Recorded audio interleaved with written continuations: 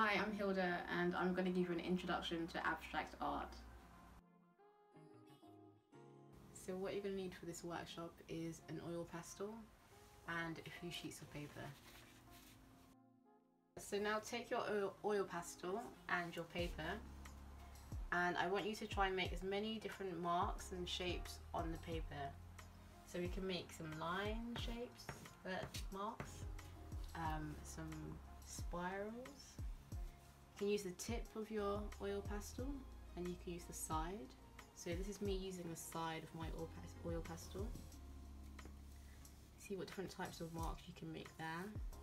What happens when you press really hard? Uh, think about what happens when you press really lightly. You can make circles.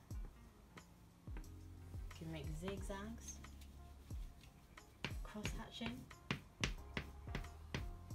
So just play around with that and see what kind of shapes, what kind of marks you can make.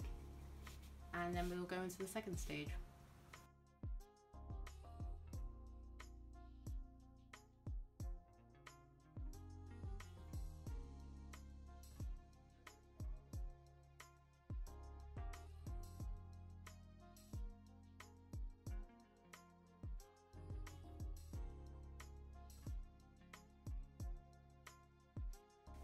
Now we've got our, sh our sheet of paper with our shapes and marks on it. I want us to think about these shapes and marks and sounds. How can you represent a sound using a shape or a mark on the paper? So let's move this aside and get another sheet of paper.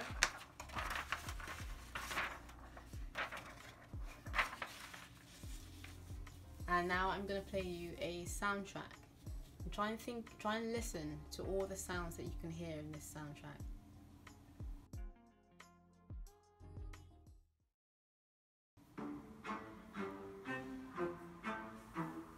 So you've got this repeated noise.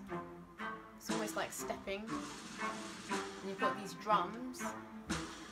And the explosion, explosion of sound there. Let's see how we can draw this. I'm just drawing lines to represent this repeated noise. But you can draw it any way that you want.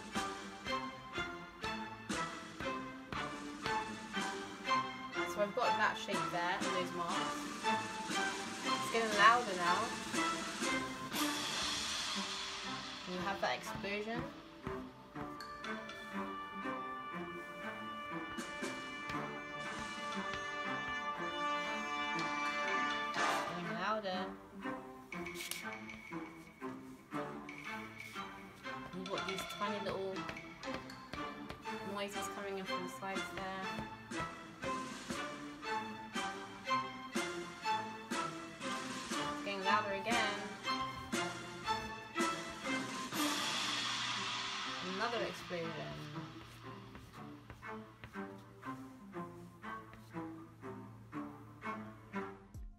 So this is my drawing. And you might be thinking this doesn't look like anything at the moment, but that's the point of abstract art. It's not supposed to look like anything specific. So as long as you have an oil pastel and you have a sheet of paper and you can make marks on the paper, you're doing it right, okay? There's no way to do this wrong. You're always doing it right. So I had some, I heard the repeated noise and I decided to draw this repeated pattern. You can draw that, you can draw that noise in whatever way that you want to. Um, and at points of the soundtrack, it got it was quiet and it got really loud. So I decided to draw that noise in this way. And there were a few explosions of sound here and there, so I did a few explosions. But let's look back at our shapes and our marks that we made earlier and think about how we could represent the sounds in different ways. So where it got really quiet, you could probably draw it small circles and get and make them really big.